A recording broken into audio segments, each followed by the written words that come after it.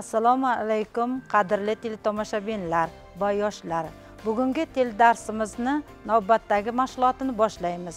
Bugungi mashg'ulotimiz mavzusi oqsillar va ularning tuzilishi strukturaviy darajalari haqida bo'ladi. Hammamizga ma'lumki barcha tiriklikning asosini hujayralar tashkil etadigan bo'lsa oqsillar insoniyatning jamiki tirik mavjudotning asosiy qurilish materiali hisoblanadi. Shuning uchun ham oqsillar aminokislotalardan tashkil topgan degan xulosa fan mana shu narsani tasdiqladiki aminokislotalarning ham o'ziga xos xususiyatlari mavjud ekan. Aminokislotalar oqsillarning tuzilishida faol ishtirok etishi bilan birgalikda aminokislotalar oqsillarning kimyoviy xossalarini ham belgilab beruvchi asosiy omillardan biri hisoblanadi. Shuning uchun ham aminokislotalarning umumiy tuzilish formulasini biz ko'rib turibmiz. Demak aminokislotalarning umumiy tuzilish formulasida biz amin guruhini hamda karboksil guruhlarini ko'rib turibmiz. Э, molekulyar holatda yozilishi strukturaviy holatda yozilishini ko'rib turibmiz. Endi bundan ko'rinib turibdiki amino gruppa ammiakning qoldig'i hisoblansa karboksil gruppa esa karbon kislotaning qoldiqlari hisoblanadi. Chunki bular oqsillarning kimyoviy xususiyatlarini belgilab beruvchi bir valentli gruppa ekanligini biz ko'rib turibmiz. Aminokislotlar bizga ma'lumki oqsil tarkibida yigirma uchtadan ziyod aminokislotalar mavjud bo'lsa mana shu aminokislotalarni biz mana yigirmaga yaqin aminokislotalarni ko'rib turibmiz. Oqsil nima? Oqsil yoki protein.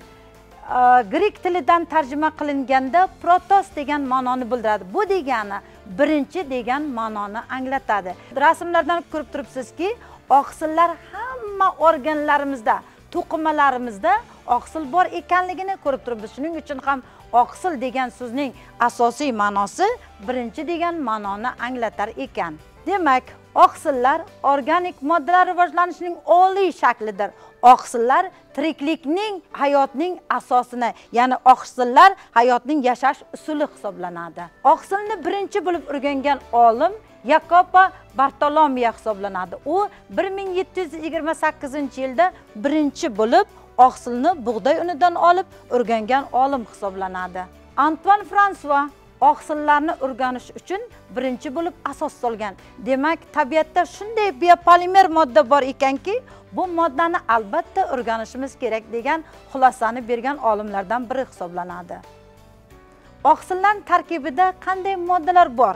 Oqsillar tarkibida biz ko'rib turibmizki vodorod kislorod azot uglerod hamda oltin gugurt elementlari mavjud. Oqsillar biologik xususiyatlarga ko'ra tirik hujayrada ko'plab funksiyalarni bajaradi.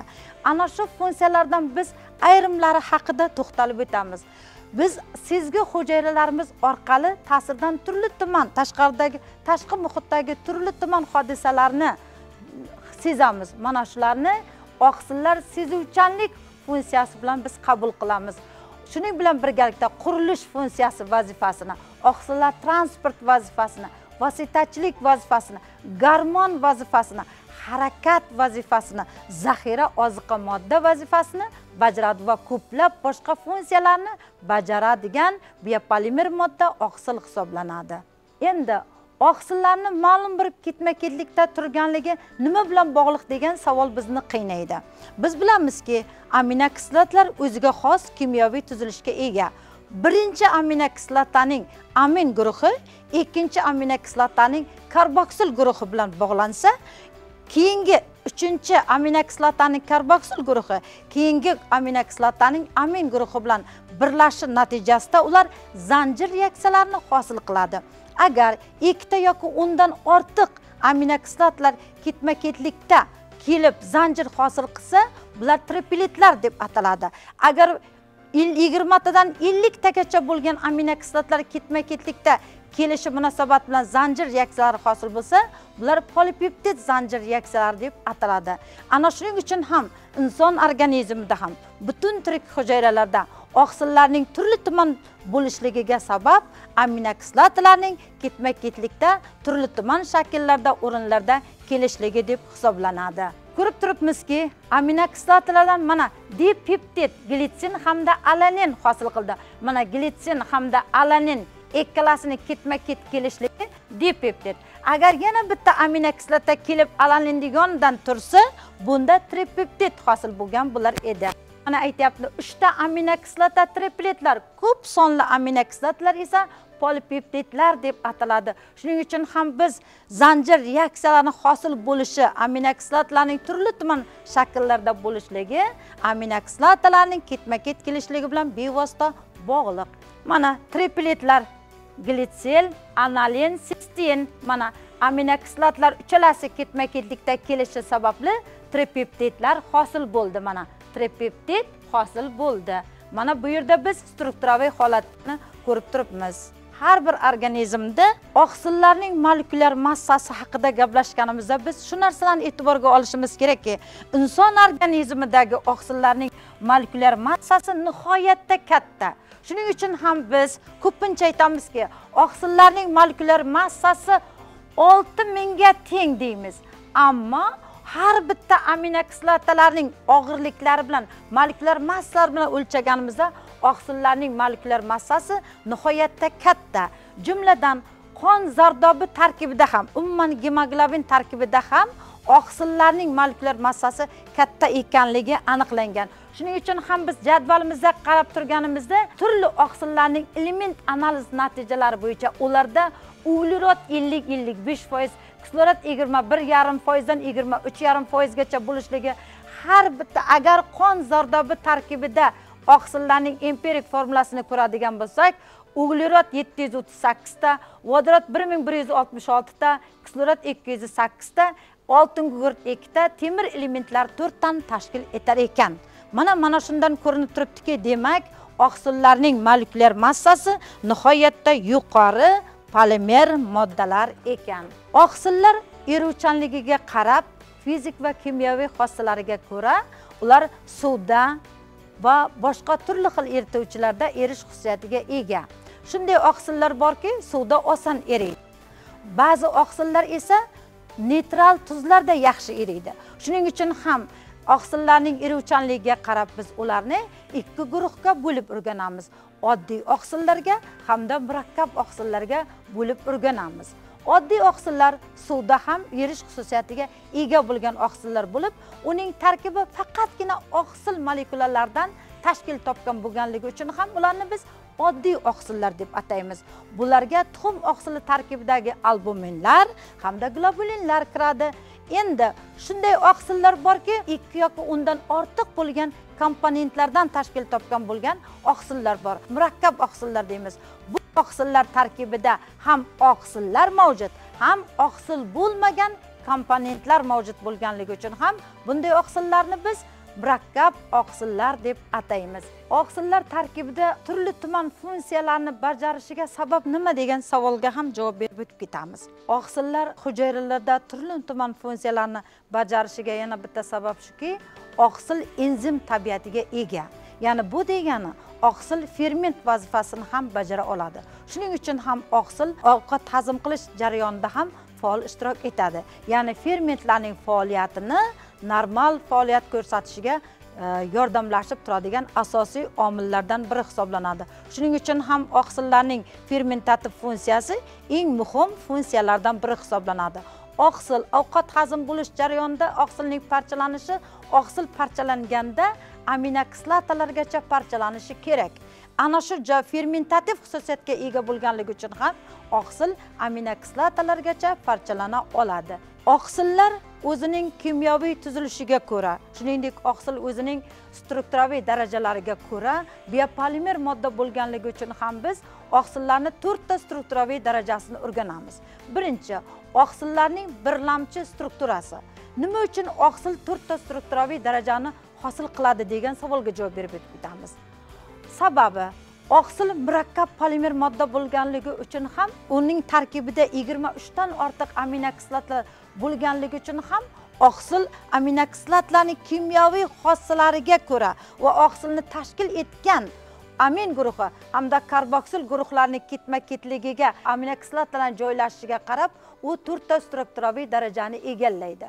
Birlamchi tuzilishda oqsil vodorod bog'larining hisobiga hamda aminokislotalarning ketma ketlik kelishiga qarab birlamchi strukturani hosil qiladi. Oqsilning birlamchi strukturasi mana aminokislotalar birin ketin ketma ketlikda kelyapti. Ana shu ketma ketlikda kelishligi takrorlanib takrorlanib kelishligi mana bitta zanjir reaksiyasini hosil qildi. Xuddi mana shu jarayonga oqsilning birlamchi strukturasi deyiladi. E'tibor bersangiz aminokislotalarning ma'lum izchillikda joylashgan polipeptid zanjiri oqsilning birlamchi strukturasi deb ataladi. Endi oqsilning ikkilamchi strukturasi deganda polipeptid zanjiridagi peptid bog'lari hosil qilgan vodorod bog'lari ta'sirida murakkab spiralsimon fazoviy struktura oqsilning ikkilamchi strukturasi deb ataladi deyapmiz. Oqsilning ikkilamchi strukturasini biz alfa spiral bitta struktura deb ataymiz. Hozir bunga javob beramiz. Demak oqsilning ikkilamchi strukturasini oqsilning ikkilamchi strukturasini alfa spiral bitta struktura deb ataymiz. Sababi yuqorida birlamchi strukturada e'tibor bergan edingiz zanjir hosil bo'lgan edi. Hamda aminokislotalar birin ketin ketma ketlikda turgan edi. Bu zanjir endi spiralsimon shaklga o'tdi mana. Spiralsimon shakl ko'rinishga ega bo'ldi. Aminokislotalar qaysi aminokislotalar spiralsimon hosil qila oladi degan savolga javob beramiz. Oqsil tarkibidagi alfa guruhiga kiruvchi aminokislotalargina spiral shaklga o'ta oladi. Shuning uchun ham bu ko'rinishni alfa spiral strukturaning o'zini esa bitta struktura deb nomlaymiz. Bu mana shunday nomlanadi. Mana shu ko'rinishning fazoviy holatini ko'rib turibmiz. Oqsilning uchlamchi strukturasi uchlamchi struktura bilan ikkilamchi struktura o'rtasida qanday farqlar bor? Birlamchi strukturada peptid bog'lar hisobigagina birlamchi struktura hosil bo'lgan edi. Ikkilamchi strukturada esa vodorod bog'lari hosil bo'ldi. Vodorod bog'larining hisobiga ikkilamchi struktura hosil bo'lgan edi. Endi uchlamchi strukturada esa peptid bog' vodorod bog' vodorod bog'laridan tashqari disulfit bog'lar hisobiga disulfit bog'lar hisobiga uchlamchi struktura hosil qilyapti. Uchlamchi struktura ikkilamchi struktura yig'ilishi natijasida polipeptid zanjiri radikal funksional gruppalarni o'zaro ta'siri natijasida vujudga keladigan uch o'lchamli fazoviy struktura oqsilning uchlamchi strukturasi. Birinchi ikkinchi uchinchi mana. Fazoviy uch o'lchamli bir ikki uch. Mana shuning uchun ham uchlamchi struktura nomini olgan. Uchlamchi strukturada ikkilamchi strukturadan farqli o'laroq vodorod bog'lardan tashqari disulfit bog'lar ham bu yerda qatnashyapti. Shuning uchun ham uchlamchi struktura uchta o'lchamni hosil qilish imkoniyatiga ega bo'ldi. Oqsilning to'rtlamchi strukturasi hayotning eng muhim ko'rinishlaridan biri ovqat hazm qilish jarayonida. Insonning ko'payishi butun tirik tabiatning ko'payishida oqsillar xuddi uglevodlar singari muhim ekanligini biz ko'rib turibmiz. Shuning uchun ham inson organizmida qanchalik ko'p energiya bo'ladigan bo'lsa buning hammasi oqsil hamda uglevod hisobiga to'g'ri keladi. Inson organizmi bir kunda 100 gramm oqsilni qabul qilishi kerak.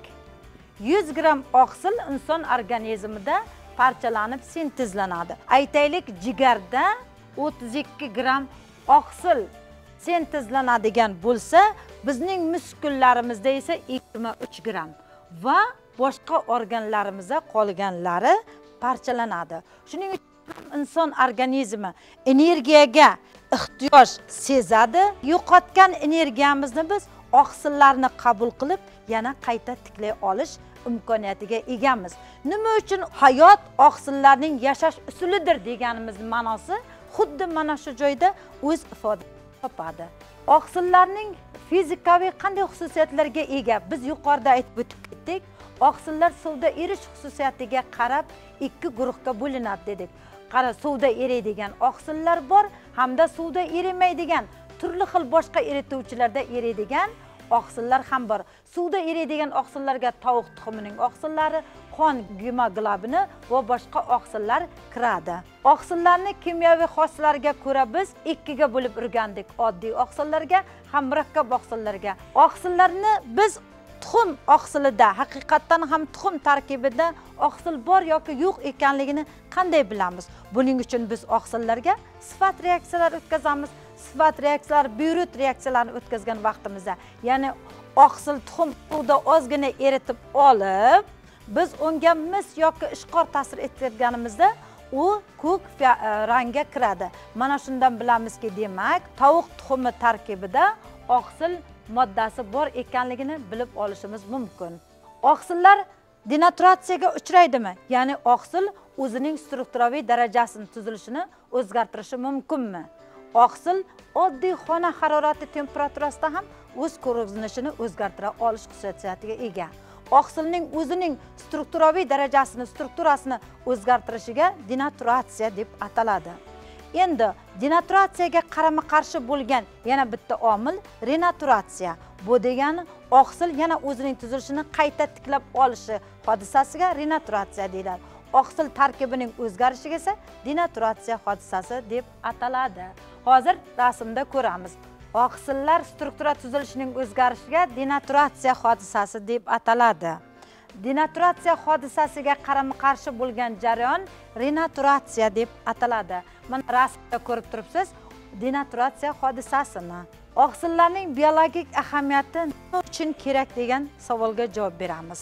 Har birimizga ma'lumki inson organizmi doimo turli tuman to'siqlarga turli tuman omillarga turli tuman atrof muhit ta'sirlariga doimo o'zining munosabatini bildirib turadi.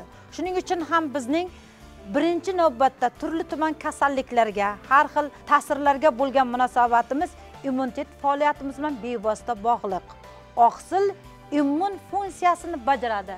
Bu degani butun harakatlarimizni boshqarilishida oqsillar tiriklikning motivatsiya berib turuvchi uning boshqariluvchi uning irsiylanishida har bitta jarayonda immunitet faoliyatimizni bir me'yorda saqlab turishida ham oqsillar muhim biologik ahamiyatga ega ekan. Shuning uchun ham biz kundalik hayotimizda oqsilga boy bo'lgan taomlardan iste'mol qilishni unutmasligimiz kerak bo'ladi. Hurmatli yoshlar sizlarga molekulyar biologiya fanidan o'tilgan bugungi oqsillar mavzusi bo'yicha quyidagi savollar berilgan. Mana shu savollarga javoblarni yozib yuborasiz. Hurmatli yoshlar bugungi teledarsimiz o'z nihoyasiga yetdi. Mana shu o'tilgan mavzumiz bo'yicha berilgan topshiriqlarni albatta o'qib ko'rasiz degan umiddamiz. E'tiboringiz uchun rahmat xayr salomat bo'ling.